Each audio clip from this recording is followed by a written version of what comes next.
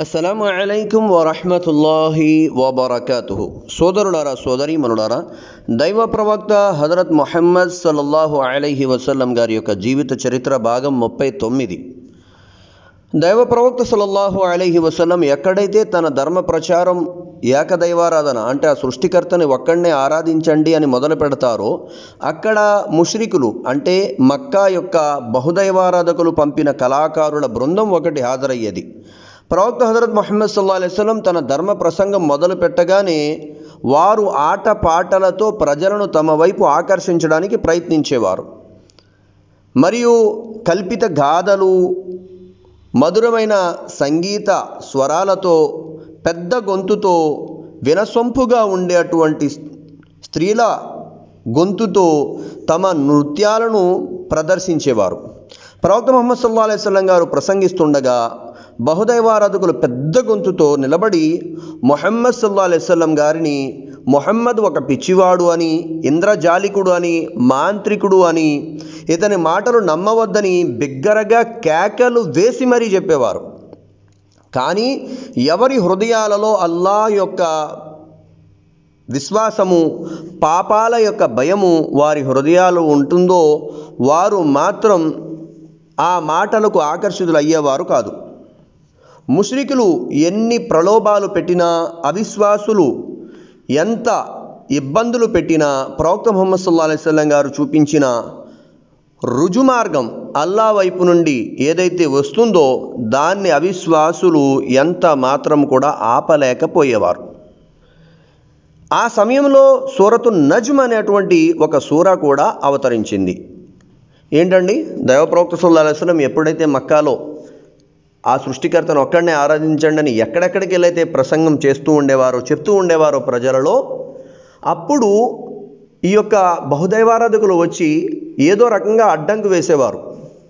తర్వాత ప్రవక్త వారిని ఇంకా ఈ అడ్డంకు గనక కుదరకపోతే నేరుగా గట్టిగా అనేవారు. ఏమని? ఈయన పిచ్చివాడు ఏంటి? ఇతడి మాంత్రికుడు ఇతడి మాటలు వినకండి అని చెప్పి అనేవారు.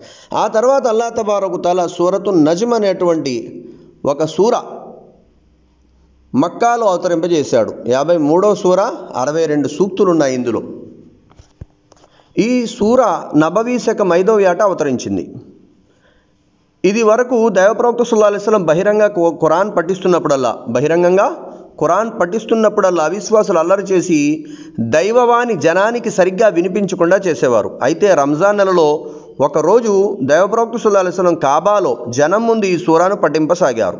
అప్పుడు అవిశ్వాసులు కూడా ఎటువంటి అల్లరి చేయకుండా పూర్తిగా విన్నారు. ఈ సూరాను పూర్తిగా పఠించిన తరువాత ప్రవక్త ముహమ్మద్ సల్లా అలైవల్లం చివరి సూక్తి ముగింపులో అల్లాకు సాష్టాంగ ప్రమాణం చేశారు. అవిశ్వాసులందరూ కూడా మొహమ్మద్ సల్లా అలైవల్లంతో పాటు సజ్దా చేశారు. ముష్రికులు కూడా అప్రయత్నంగా వారితో పాటే అల్లాకు సాష్టాంగ ప్రమాణం చేసేశారు.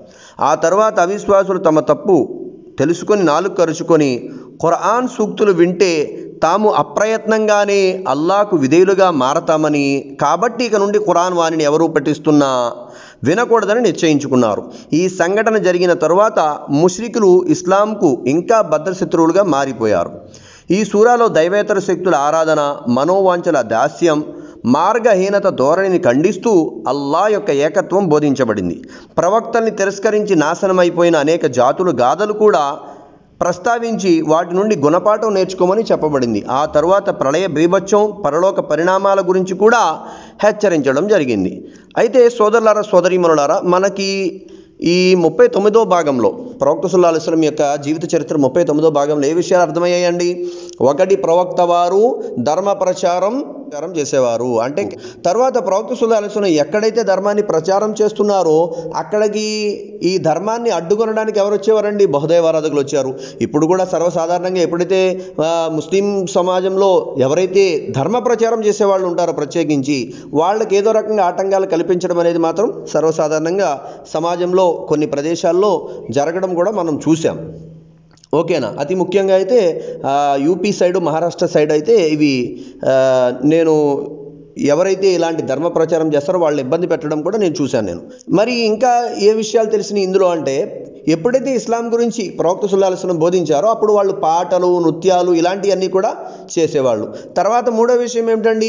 ఇంకా అప్పటికి కూడా ప్రవక్త సుల్లాహస్లం ధర్మ ప్రచారం ఆపకపోతే ప్రవక్త వారిని ఏమనేవారు? పిచ్చోడు అంటాం మొదలెట్టేవారు. మాంత్రికుడు అంటాం మొదలెట్టేవారు. ఓకేనా?